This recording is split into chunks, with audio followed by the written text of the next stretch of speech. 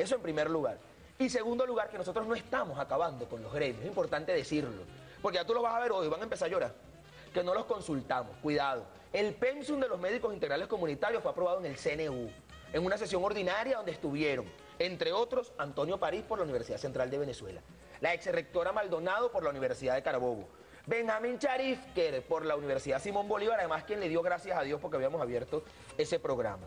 Y en segundo lugar, esos colegios de médicos ya no responden a los intereses de los médicos venezolanos. Yo les hacía ayer una pregunta bien interesante, porque ellos hablaban que si habíamos consultado a los colegios de médicos.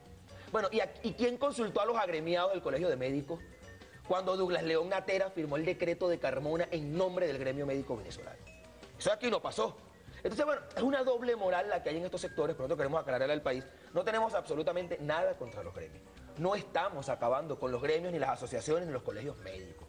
Simplemente estamos abriendo el derecho de ir que tienes tú, que tiene el doctor y que tengo yo, a asociarse donde lo estime conveniente y masificando la asociación gremial para que todos podamos vernos representados. Y hay que recordar, ¿producto de qué?